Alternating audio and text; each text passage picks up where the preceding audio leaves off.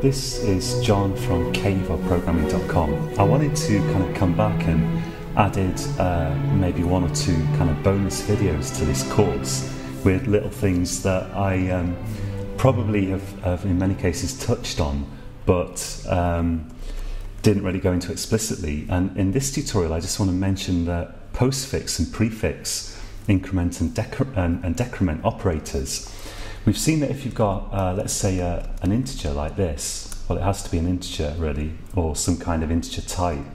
Let's set that to 8. We can, we can type stuff like value plus plus. Uh, that's, the, that's called the postfix increment operator. And then we can do cout value like this. So if we run this, of course, we get 9 okay, you've got to build it first. That would probably help. So um, this this isn't any, anything unexpected. We've seen this before. It's pretty simple, and we get nine. Uh, but we can also use this in prefix form. So that was postfix, but we can also type this prefix. Whoops. So if we run this, once again, we get nine. And the same is true of the um, of the decrement operator, we can type this to decrement, decrease the value of value by 1, so now it's 7. And that also exists in a prefix form like this, which will also give us 7. So what's the difference between prefix and postfix? Well, the answer is that if you have an expression, let's, um, well, here, here, for example, we, we do have an expression. Uh, with postfix, the value is going to be used uh, and then incremented. With prefix, it's incremented and then used. So if we look at this now, what we're going to get is 8. So we see that's 8. That's because it used the value and then incremented it. If we did this, on the other hand, it's going to increment the value and then use it. So now we actually see 9.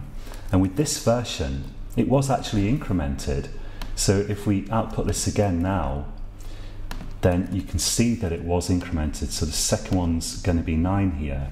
It's just that on the first one, because it's postfix, it used the value and then it incremented it, whereas prefix would increment it and then use it. So you can see exp expressions um, like, for example, int uh, number equals uh, value plus plus and let's do cout on number. So what's what's value going to be here? So we see that uh, we incremented value. It started off at eight. We incremented it so it was nine, and we output nine here to confirm that. So now, uh, can, can you guess what this what this is going to be? Well, let's let's see if your guess is right. It's actually going to be still nine. But of course, if we if we um, if we did a prefix version here, so it, it has incremented value. If, if we actually output value here, let's, let's output value and let's also say value is now, and let's say here number is, so value is being incremented to 10, but um, so here it's 10 you see, but number is 9 because it's postfix and we actually used it before incrementing it. But if we if we use prefix, then we're going to increment it and use it. So now number and value are going to be the same. They're going to end up the same, both as 10.